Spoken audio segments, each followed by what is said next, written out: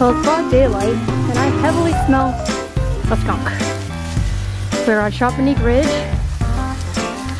The dog, who is 11 years old, it just keeps going. So I just hope we don't get sprayed by a skunk. Yep. To be continued. We say R is for Rocky.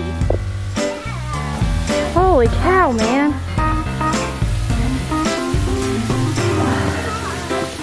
Ow. Trying to get my foot in here. Ooh, beauty. Oh, that's cool.